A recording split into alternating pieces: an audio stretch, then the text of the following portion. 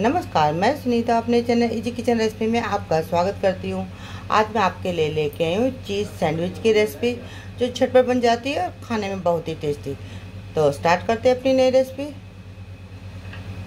सबसे पहले हम लेंगे ये चार आलू। ये जो उबले हुए हैं इनका मैंने छिलका उतार लिया है, ये मीडियम साइज़ के हैं तो पहले इनको हम कद्दूकस कर लेंगे।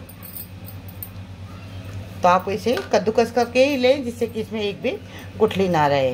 तो सारे आलू को पहले हम कद्दूकस कर लेते। हैं यहाँ हमने चारों आलू को कद्दूकस कर लिया है। अब हम इसमें डाल देंगे प्याज।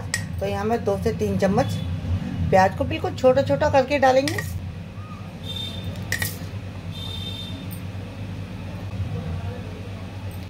यहाँ मैंने चार चम्मच प्याज डाल दिए।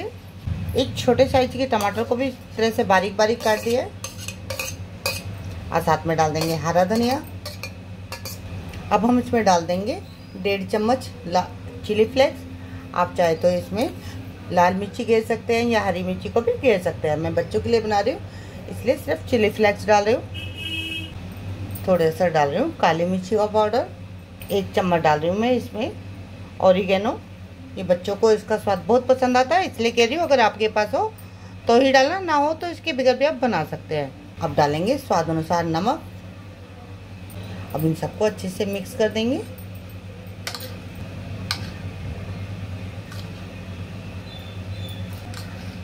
यह मैंने सब चीज़ों को अच्छे से मिक्स कर दिया है। यह हमारी फिलिंग तैयार है, सैंडविच बनाने के लिए। आप चाहे तो इसके अंदर मोजरेला चीज़ भी डाल सकते हैं, पर आज मैं चीज़ स्लाइस यूज़ कर रही हूँ तो इसको हम रखते हैं साइड में। अब लेते हैं ब्रेड। तो आज मैं ब्राउन ब्रेड का यूज़ कर रही हूँ, आप चाहे तो वाइट ब्रेड भी ले सकते हैं। तो एक ब्रेड पर लगाएँगे हम टमाटर केचप, और इसको इस तरह से अच्छे से फैला देंगे। और दूसरी ब्रेड पे लगाएँगे हम हरी चटनी।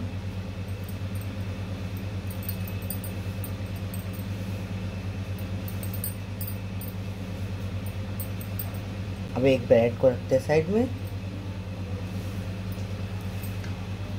अब इसमें लगाएँगे आलू की फिलिंग तो हमने तैयार करके रखी है।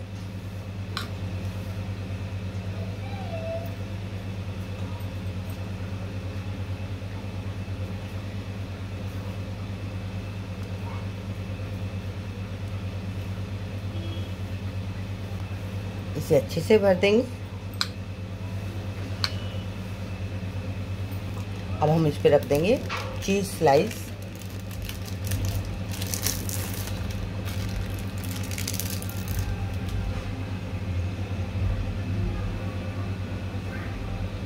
अब दूसरी ब्रेड को इस तरह से रख देंगे। हल्का सा प्रेस कर देंगे। ये हमारी एक सैंडविच बनकर तैयार हो गया है। इसी तरह से हम दूसरा बना लेते हैं। यहाँ देखिए मैंने दो सैंडविच बनाकर तैयार कर लिए हैं। तो अब हम इस पर लगा देते हैं घी। आप चाहे तो इस पर बटर भी लगा सकते हैं। ये आपकी चॉइस है। तो यहाँ मैं एक तरफ़ घी लगा दे रही हूँ।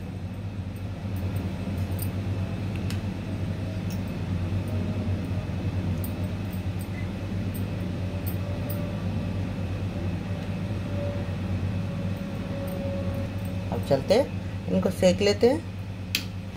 यहाँ हमने गैस पर एक तवा रखा है। तवा हमारा गर्म हो गया है तो अब रख देंगे अपने सैंडविच को।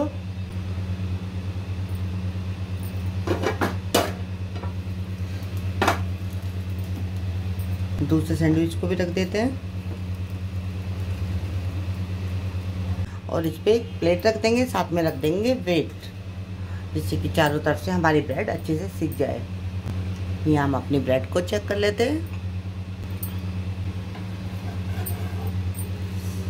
यहाँ हमारी ब्रेड नीचे से सीख गई है तो ऊपर भी हम घी लगा देते।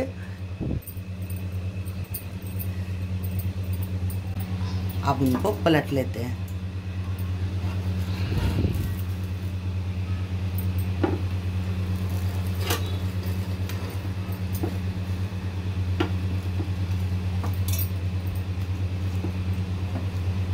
अब इनको ऐसे ही सीखने देंगे। यहाँ हम सैंडविच को चेक कर लेते हैं। हमारे नीचे से भी सैंडविच सीख गए तो अब हम इनको निकाल लेंगे। देखिए, हमारा चीज़ सैंडविच बनकर तैयार हो गया। देखिए, कितना क्रिस्पी बना है और खाने में भी बहुत ही टेस्टी। ये देखिए, हमारा चीज़ सैंडविच बनकर तैयार हो गया। अब हम इनको कटिंग कर लेते हैं। कटिंग आप अपने हिसाब से जैसा चाहे वैसा काट लें। ये देखिए।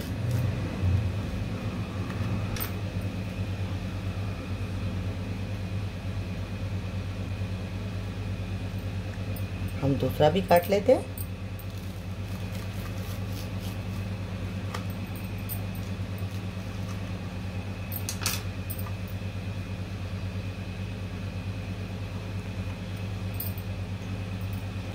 ये देखिए, हमने सभी सैंडविच बनाकर तैयार कर लिए आप चाहे तो बच्चों के टिफ़िन में दें या ब्रेकफास्ट में दें या शाम की छोटी मोटी भूख के लिए।